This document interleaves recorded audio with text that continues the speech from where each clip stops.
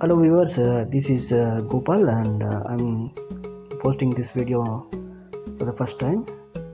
And this is uh, my farm where uh, Melia dubia we have uh, planted Melia dubia plants. And these are uh, two and a half years old uh, Melia dubia as you can see we have cultivated the soil for soil moisture retention.